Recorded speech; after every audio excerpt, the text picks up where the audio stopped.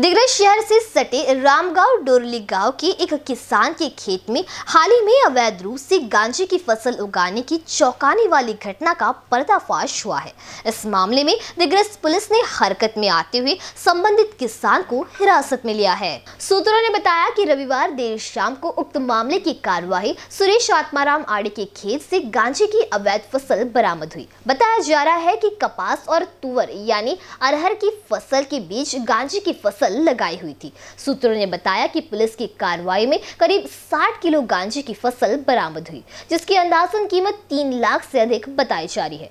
मालूम हो कि विभागीय पुलिस अधिकारी आदित्य मिरखेलकर, पुलिस निरीक्षक प्रदीप परदेसी, दिग्रस पुलिस थाने के पुलिस निरीक्षक सोनाजी आमले के मार्गदर्शन में सहायक पुलिस निरीक्षक कैलाश कट्टे, सहायक पुलिस निरीक्षक विजय रत्न पारखी सहायक पुलिस निरीक्षक गणेश वनारे, पीएसआई भगवान पायगन पीएसआई रंदी, एलसीबी दस्ते के कुणाल रूडी, ब्रह्मानंद टाले, सचिन राउत, ड्राइवर गाड़ी आदि इस गंभीर मामले की संयुक्त कार्रवाई में शामिल थे। बीसीएन न्यूज़ के लिए दिग्र से जुबेर खान की रिपोर्ट।